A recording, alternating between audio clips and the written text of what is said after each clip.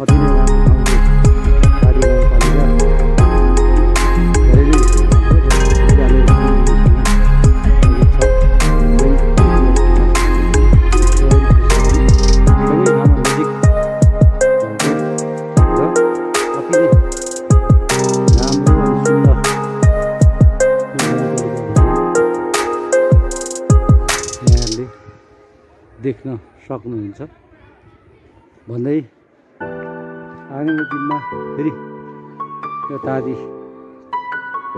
गाउँपालिकाको बारेमा अन्य भिडियोहरू ल्याउने बाचा गर्दै म तादी मिडिया प्रालीको अध्यक्ष तथा अध्यक्ष रामेश